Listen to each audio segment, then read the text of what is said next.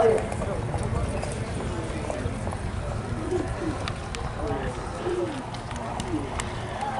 the gate, one trailer. Uh, of five. Southmore Pacers are ready for the start. Race three, there they go.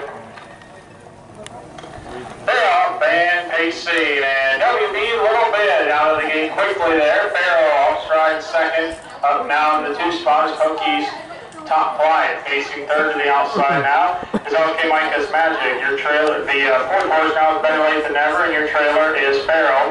As they come past the stands for the first time, on top of the field is WB Little Bit.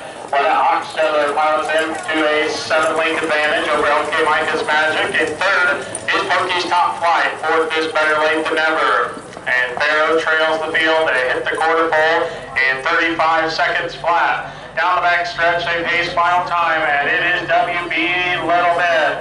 Led from the start so far, still clear, but OK Micah's Magic is slowly picking up ground in second. Pokey's Top Flight is third, and better late than never as they round for home. It's still WB Little Bit, but here comes OK Micah's Magic. First, Jeremy Miller in second as they round for home.